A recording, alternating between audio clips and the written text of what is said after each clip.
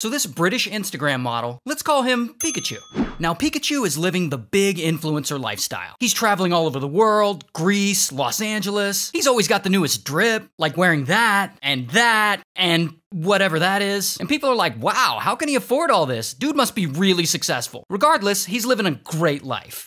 Until one day, Pikachu takes a little trip to Peru for a little vacation. He hits up Cusco, Lima, Machu Picchu, and when his trip is over, he goes to the airport to leave back to London. And he's checking into his flight, and two officers suddenly approach him and they want to talk to him. But allegedly, Pikachu's Spanish isn't that good, so he's confused. So the two officers, they take him into a room and they make him sit down. And they have his suitcase and they take all of his stuff out of it. And this officer starts like tearing the suitcase up. And he runs some quick tests, and that's when they find a substance. And Pikachu, he's so confused. He's like, a substance? It doesn't look like he knows what's going on. al que podemos observar una coloración And then the officer rips up the suitcase even more. And that's when they find a